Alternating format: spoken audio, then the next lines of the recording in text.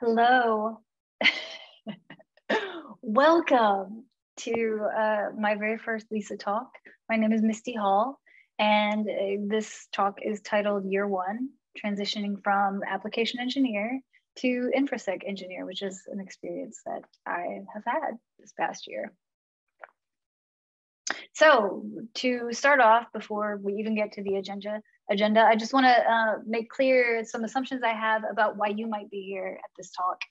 I assume that it's at least one of these things that you want to improve your hiring or mentoring process that you have at your current uh, employer. You want to reduce new employee attrition, maybe. Maybe you want to avoid hiring one type of person. If that's the case, thank you so much for being here. Or um, the jokey part, you like fish. I have a I've decided sort of arbitrarily to make this fish themed, fish themed talk. Um, because hiring is like fishing, right? I think that's true. There's, yeah, it's like fishing, definitely. So a little bit about me. It's only fair to tell you a little bit about me since I told you the assumptions I have about you. I am here, my why, my personal why, to help you, help people like me, help you. We're out there there, of course, there are application engineers who would absolutely love to be interested in infra or be involved in infra. Some people want to transfer to infra engineers. Some people are just sort of infra curious. Uh, sort of, I hope I can help help you tell the difference, uh, or at the very least, just share my experience uh, with a little bit of, I understand survivor bias. Uh, a little bit about me. You can see there's a picture of a fish monument here, is totally normal. I live in Eufaula, Alabama, which is the bass fishing capital of the United States. Don't mean to brag, but we have a monument to a fish named Leroy Brown, named after the song. And uh, if you've seen Parks and Rec, Leroy is the Leroy is our little Sebastian. And this is the life that I lead. So to the agenda. Uh, I have told you the assumptions of why I think you're here, also about me. This is sort of a case study, eh, loosely. It's a sample size of one and a couple. There's a lot of anecdotal bits in this, but I still think that it's valuable, you know, to hear people's experiences. Sharing our experiences seems to be a sort of pivotal part of InfoSec, and I would like to continue in that tradition. Hopefully, you get some value out of this and I try to answer some questions based on just my experience. So take that in context. Um, should you, one of the first things I want to talk about is should you even hire an application engineer? Something to consider. I think maybe there is a push because there's so many application engineers interested in, you know, AWS or whatever. Um, but there's other things to consider. Uh, then I want to talk about slot limits. Who gets thrown back, maybe possible reasons for that. And then uh, iced fish is basically my assessment of the uh, what do you do after you've caught one.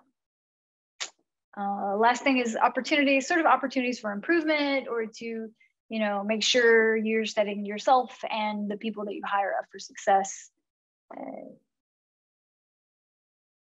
so, first thing, should you even fish in this pond. Uh, you don't have to hire an application engineer just because we are everywhere. Um, there's plenty of fish in the sea. Some of them might meet your needs, and some of them, you know, might not. And uh, I guess the thing that's important here in this talk that I'm going to talk about, of course, there are tons of reasons you'll have think for things you'll have to consider. Um,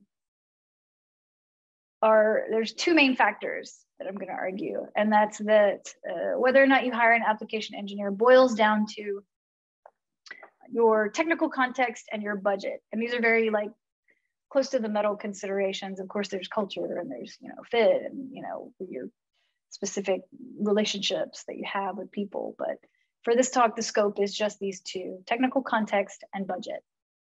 So let's talk about those. How complicated is your technical context. Uh, you know, hiring is fraught with difficulty. Uh, I have I have hired before. Um, I have um, obviously just got hired and transitioned not too terribly long ago. Um, and the complexity of your, your project might decide whether or not you decide to hire an app eng and transition them, which is in essence like rolling your own infra engineer. Um, so even if you're even if your application engineering team is really strong and you don't need somebody who can code, right? Uh, if you need something like an observability specialized infosec person to be on call to support application engineers who troubleshoots Golang microservices for your platform as a service, you definitely need somebody with enough coding confidence to have those conversations with your application engineering team. Um, and you may want to start with an infra curious backend application engineer hire because they may be a better investment, so to speak, to getting what you actually want. Um, in my case, I, it made sense. Uh, I was one of those hires from the first big growth waves at the agency where I work. Um, I think I'm I'm employee number like 57 of 123. uh, we do quite a lot of government work at the moment, and you know that's since changed. But uh, I applied, actually applied originally to an infrastructure position, and they knew I was interested, but wanted to see my back end engineering skills because I didn't have a whole lot of infra experience. I really didn't have any. So uh, I worked as a backend engineer for like four months, I think, it, until the company grew a little more and they needed more infrastructure people eventually. And then I switched over. Um, and, you know, because products can vary wildly at an agency, I was considered a good investment. So, what's your budget? You know, money is going to come up in any talk. So, here it is. I think that this fish looks like they're asking about your budget. I don't know. Uh, you know, senior specialized application engineers are expensive, and so are very senior infrastructure engineers. So sometimes those hires just don't make sense. Um, but you know, cross training a mid-level application engineer may make a lot of sense and can allow you to get the specialty engineer, infosec engineer that you want, like the observability person I mentioned. But you know, if your app team is really strong and flush with cash and you know, has already hired a lot of senior engineers with some expected knowledge of your cloud provider, then maybe they've done part of the work for you. And it makes more sense uh, for you to hire somebody different, somebody that has nothing no specialization in application engineering at all, such as, uh, let's see, not a fish, but instead a network specialist, which in this metaphor is hush puppies, or an IT person, which is completely separate, it's like pork chops, or an affordable infrastructure specialist with lots of security credentials who supports AppEng, manages AppSec team, field sales calls, handles new compliance issues, and respectfully sits in on C-suite meetings while being on call, which I call the impossible burger. You're welcome. I went there. Bad joke. Not even about fish. So transitioning away from that joke of questionable value, I want to talk about slot limits. So let's say it makes sense to hire a mid-level engineer with some infra ways, infra tendencies, right? Um, maybe they have an AWS certification. They've expressed some some desire. They've they've already gone to the trouble to learn a lot of Docker. This is, you know, somehow you feel like this person is is would make a good infrastructure candidate. So I want to talk about slot limits. If you're not familiar with this fishing terminology, slot limits, um, it's a limit that like game wardens set when a fish is too small and needs to be thrown back. Like you, you, you know, you can't catch too many small fish because they just don't. It's not worth it. They need to. They need to grow so you, they can actually be useful. Um, so I would say in my situation, um, it made sense. I was considered a mid-level engineer with obvious expressed interest in infrastructure engineering. Although, you know, looking back, I was probably just an undervalued senior, my official story. Um, so well played, employer.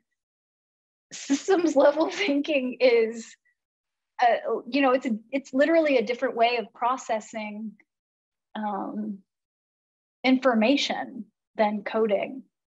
And I think that if you're thinking large, it's sort of maybe easier to scope down than to scope out. And a lot of infrasec engineers don't give themselves credit, enough credit probably for that that SWAT switch out that you have to do mentally, um, that context switching, which is very large. Um, and you know, being interested in Lambda deployment just does not an infra engineer make is is you know my point. Um, in, in my case, I was not the first catch. I was probably, I was think I was about the fourth or fifth AppEng hire, if I remember correctly. I also, before this talk, I spoke briefly to an application engineer who tried infra and she decided to go back to application engineering. And she said that the reason that she went back was she just didn't like the work. She just wasn't into it. She tried it, she didn't like it. And I kind of understand that because a year ago, I I had a really bad attitude about Docker. Um, I'm still not sure my attitude is great about it, but you know, Docker is pretty fundamental. You have to, you know, Docker, Fargate, Kubernetes, like these are things you kind of you need to know. You know, you need to be able to operate uh, in that environment at the very least. Um, and uh, I had a bad attitude about Docker because of the culture, the culture surrounding the tool. And I hope that makes sense to to some of you. Um, since then, you know, it's I can I can you definitely use Docker. Um, but my point of bringing this up is that you have to be willing to sort of take a little bit of a risk if you want the reward of that product specialized infra person. Um, keep going. Don't beat yourself up or get, you know, hurt if the first fish or two has to be thrown back, you know, keep fishing. If you've decided an AppEng knowledge base would be a vital asset to your infra team, it's it's worth it to stay the course, you know. Something will happen. If you've decided this type of person would be a good fit, that type of person is out there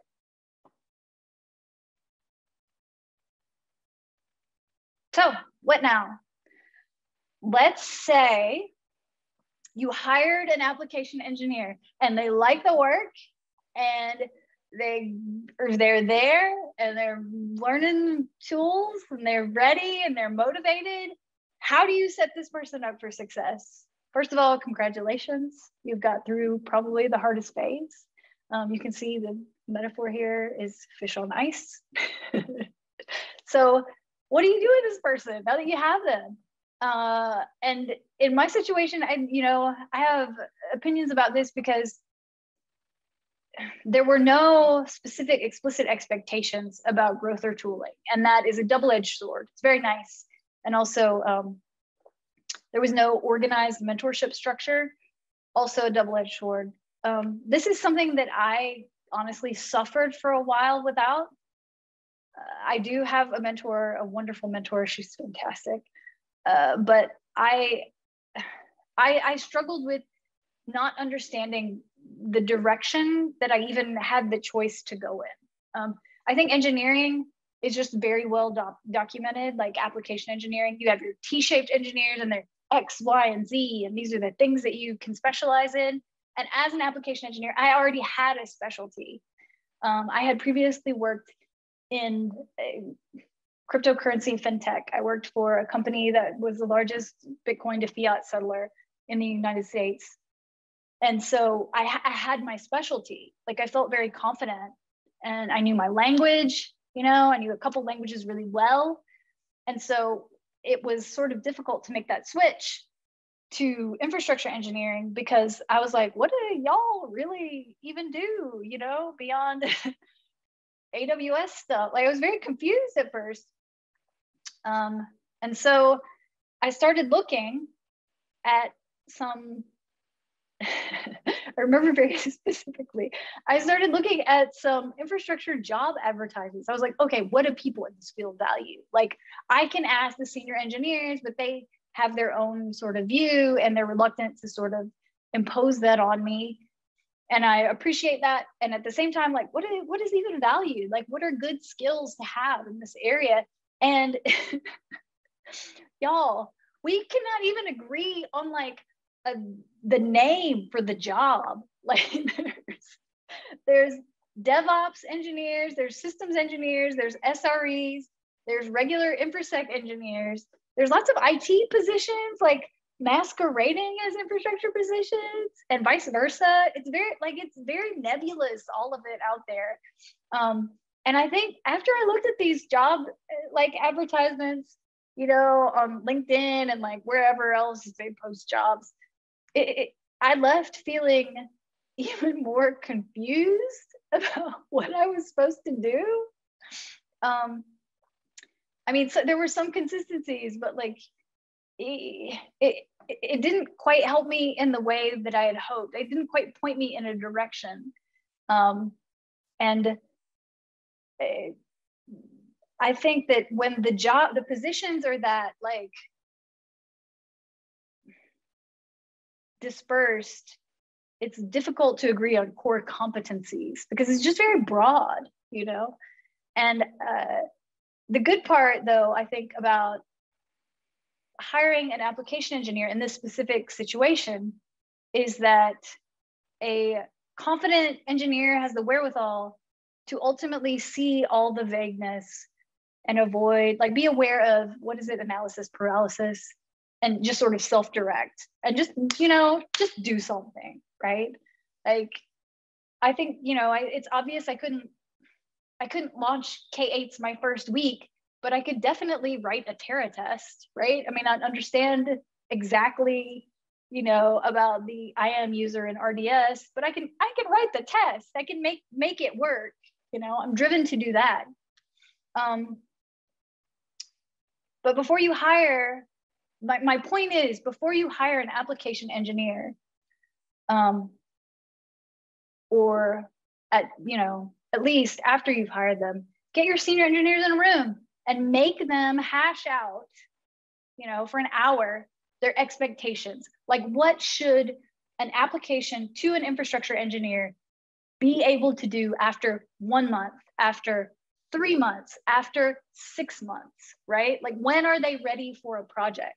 And those estimates don't have to be written in stone, but have some sort of guideline because that's definitely something that I would have benefited from uh, when I first transitioned. And, and since then, my company has these like core competencies sort of defined in a rose chart.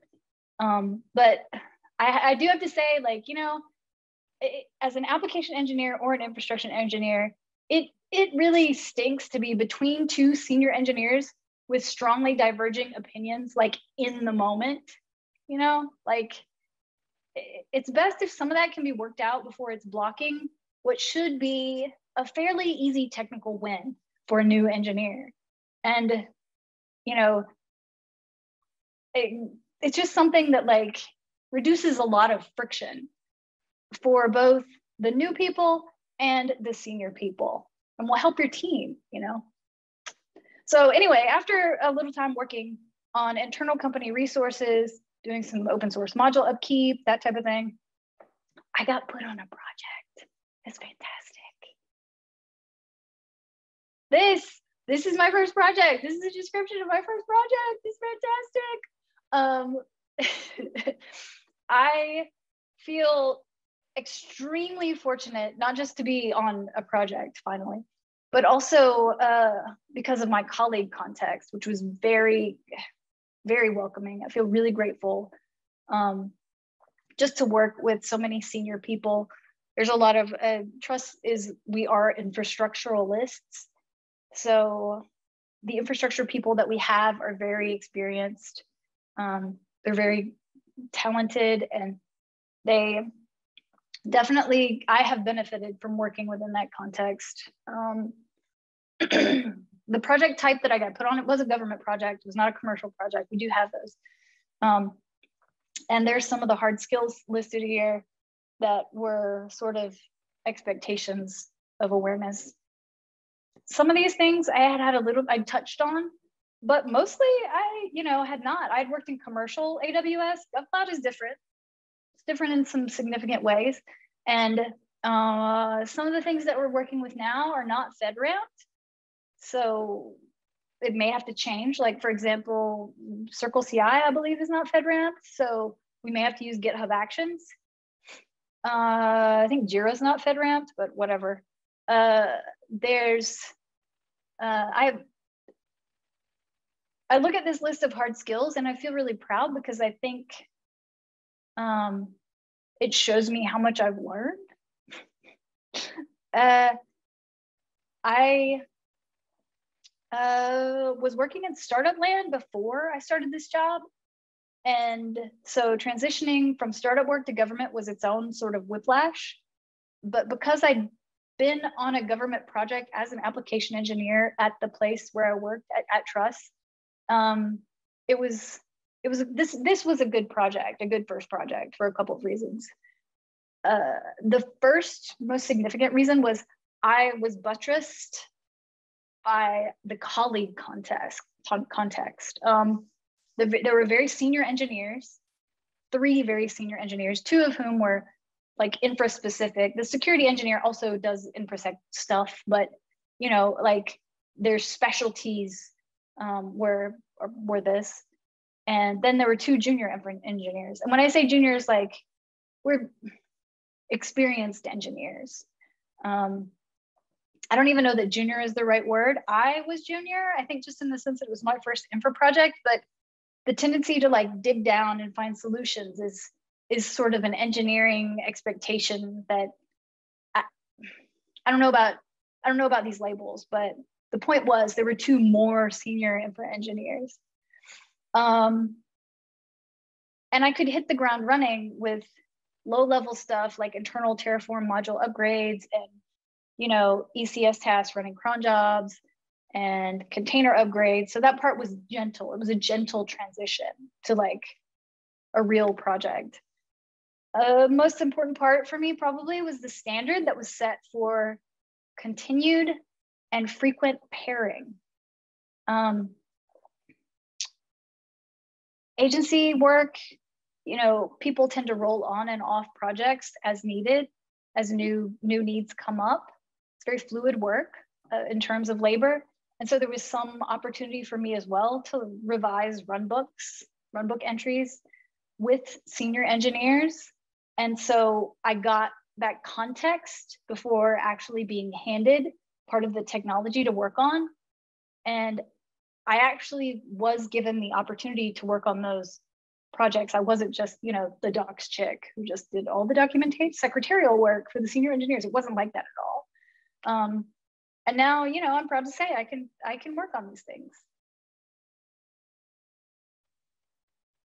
So, uh, application engineer integration opportunities. Historically, application engineers and infra are sworn enemies.